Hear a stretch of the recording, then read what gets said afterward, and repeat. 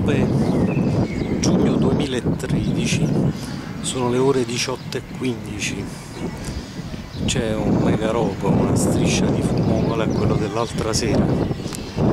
Si può adesso anche vedere dove arriva oltre Giuliano praticamente.